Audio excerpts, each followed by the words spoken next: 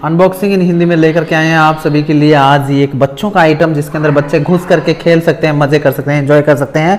Purchase करना चाहो तो लिंक नीचे डिस्क्रिप्शन में दिया है, जाकर के चेकआउट कर सकते हो। वीडियो अच्छी लगे लाइक करना शेयर करना चैनल को सब्सक्राइब करके घंटी दबा लेना।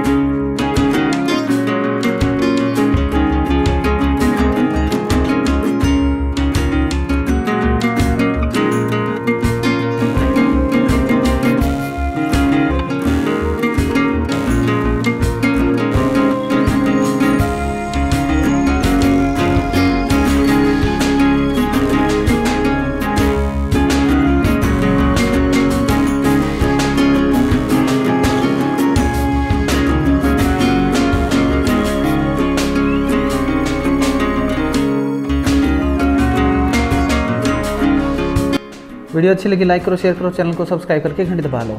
परचेज लिंक नीचे डिस्क्रिप्शन में दिया है।